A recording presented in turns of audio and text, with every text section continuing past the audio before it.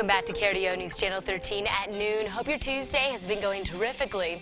Live HE Doppler radar is looking relatively quiet, but we do have some spotty showers in the mountains and also for portions along the south end of the I-25 corridor. Let's take you region to region now and show you where some of these showers are taking place.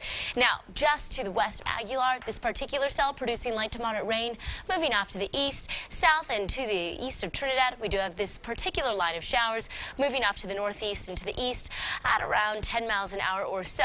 Nothing strong to report to you right now, but keep in mind that in the mountains, we'll continue to see some of these showers developing, and these will track east along the I-25 corridor, especially later on this afternoon and into the early portions of the evening. Colorado Springs, Monument, Woodland Park, Pueblo right now looking dry, but of course we'll keep you updated as some of those showers and storms get closer.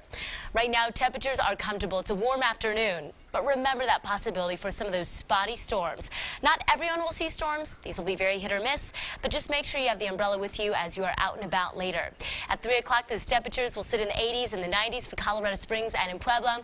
Later on this evening, right around 6 o'clock, those temperatures will sit in the upper 50s and upper 80s, respectively. You might want the light jacket as we go into the later portions of the evening hours, but up until that point, those temperatures will be pretty comfortable. Again, that umbrella is what you'll need, and might want to throw in the sunglasses too. Kind of that typical Colorado afternoon for you, at least during this time of year.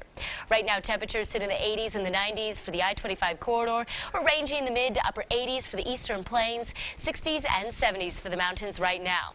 What to expect throughout the rest of the day? Here's a glance at Skycast. 4 p.m. shows a few of these showers and storms along the Palmer Divide, Teller, and El Paso counties. These showers and storms continue, even impacting Pueblo County.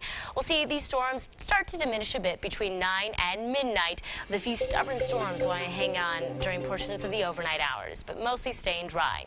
Over the next couple of days, we'll stay in the 80s. We'll keep in the chance for those afternoon showers and thunderstorms in Colorado Springs all the way through Saturday. Sunday, though, things start to look a bit drier. Temperatures will be on the cooler side, it will feel a lot like autumn. Monday and Tuesday, we keep the chance for those afternoon showers and thunderstorms. So if you're making those Labor Day weekend plans, I'd say Sunday is your best day for getting outside. Backing up to tomorrow, 94 degrees in Pueblo anticipated with mostly cloudy skies. Afternoon showers and thunderstorms expected Thursday all the way through Saturday. Again, we do have that break on Sunday before those showers resume on Monday. In Cañon City, we'll reach 89 for tomorrow's high temperature with the 80s all the way through Sunday. We drop off those temperatures for the second second half of the weekend and start of the next work week.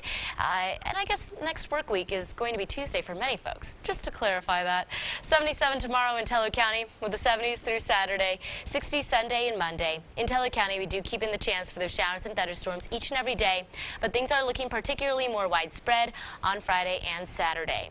Now, we will have a look at that evening forecast and so much more for you coming up next. All right. So plenty of time to plan ahead and get ready for uh, That's hopefully right. a nice evening. We still have time for that forecast to change.